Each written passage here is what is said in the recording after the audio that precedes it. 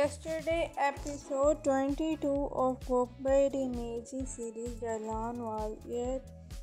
Its rating have been received and being shared on social media. Yesterday it was Saturday, Gönül Dağı was also so the ratings are in the total.